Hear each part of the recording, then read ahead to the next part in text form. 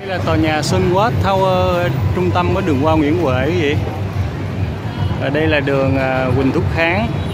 Hiện nay là 8 giờ tối, ngày 28 Tết Đinh Dậu 2017 gì, và bắt đầu người ta đổ vô người, vườn hoa Nguyễn Huệ đường hoa Nguyễn Huệ để xem cái gì, bây giờ bắt đầu à, có tình trạng kẹt xe khu trung tâm quý vị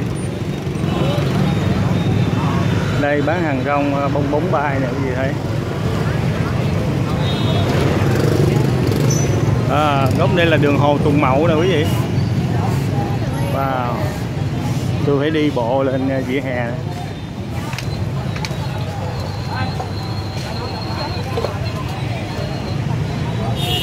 kem bò bía. À,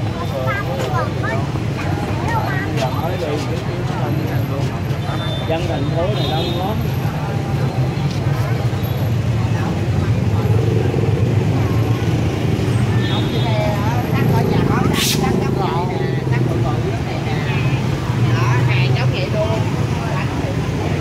À, gì thấy bãi xe đông đúc nè.